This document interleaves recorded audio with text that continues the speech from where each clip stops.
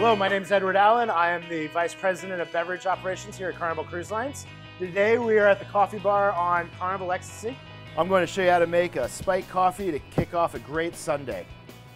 So we're going to start with a full shot of espresso. And to that we'll add a nice generous portion of chocolate syrup. You know, it is what makes it the chocolate lover's coffee. Half ounce of uh, Cruzan vanilla rum. Half ounce of creme de cacao. And with this, we're just gonna top it off a little bit of froth milk, just like you're making a latte for yourself. And because everything's better with whipped cream, just a little bit of fresh whipped cream right on top. It's Carnival's Chocolate Lovers Coffee.